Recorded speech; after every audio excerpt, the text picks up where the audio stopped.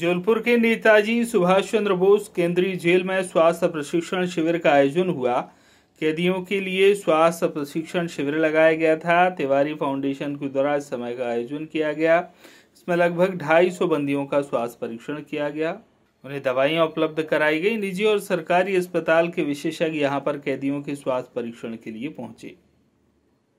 आज हम लोगों ने तिवारी फाउंडेशन के द्वारा जेल प्रशासन में 2800 बंदियों का स्वास्थ्य शिविर 2800 बंदियों का स्वास्थ्य शिविर किया जिसमें कि कुछ दांत कान नाक दंत स्किन हार्ट सभी प्रकार के डॉक्टर जिसमें कि टीम पूरी हमारी 28 डॉक्टरों की टीम है।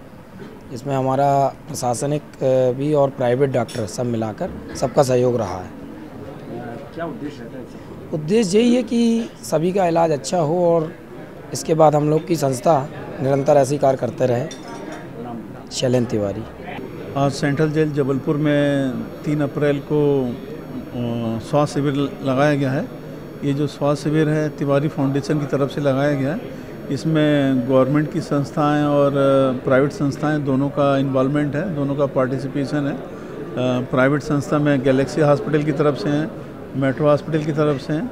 और गवर्नमेंट में विक्टोरिया हॉस्पिटल्स हैं एल्गिन हॉस्पिटल्स हैं और पेरीफेरी की टी, टीम है। जितने भी अपने विशेषज्ञ होते हैं सभी अपनी अपनी सेवाएँ यहाँ पे दे रहे हैं जो कॉमन मेडिसिन वाले हैं सर्जरी वाले हैं गायनी वाले हैं हार्ट वाले हैं ईएनटी वाले हैं जितनी भी प्रकार की विधाएँ होती हैं लगभग लगभग दस प्रकार की विधाओं के डॉक्टर्स यहाँ पे अपने पैरामेडिकल वर्कर के साथ में कारागार में जिसको आजकल सुधार गृह बोला जाता है वहाँ के बंदियों की परीक्षण करके दवाइयाँ वगैरह प्रदान कर रहे हैं।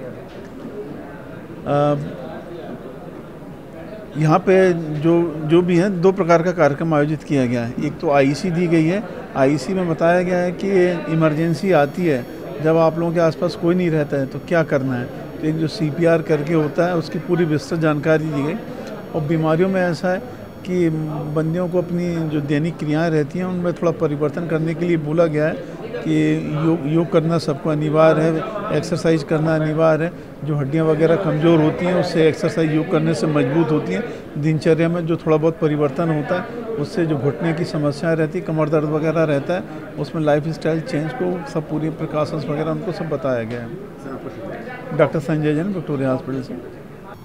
आज तिवारी फाउंडेशन की ओर से जेल में बृहद शिविर का आयोजन किया गया, स्वास्थ्य शिविर।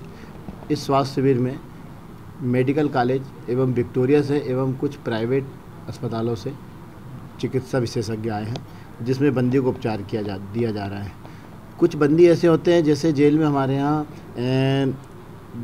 एम बी डॉक्टर हैं, और स्पेशलिस्ट के लिए यदि रिफ़र करना पड़ता है तो पुलिस गार्ड के मार्फत जाते हैं। एक बार में दो चार बंदियों का ही चेकअप होता है।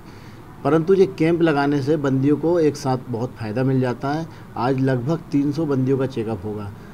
जो रेफ़र है तो विषय विशेषज्ञ जैसे न्यूरोलॉजिस्ट हुआ और हृदय रोग विशेषज्ञ और भी नेत्र रोग विशेषज्ञ ई एन टी गायनिक शिशु रोग विशेषज्ञ महिलाओं के छोटे बच्चे हैं। इनके लिए सही प्रकार के डॉक्टर्स आए हैं और पैरामेडिकल टीम है उनके साथ में। और संबंधित संस्था द्वारा दवाई का भी वितरण किया जा रहा है तो बंदियों को निसंदेश लाभ होगा। इस तरीके के समय समय पर किए जाते हैं? समय समय पर किए जाते हैं कैंप लगभग साल पे पाँच सात मेडिकल कैंप हो जाते हैं। जबलपुर से आशीष बाथरी की रिपोर्ट।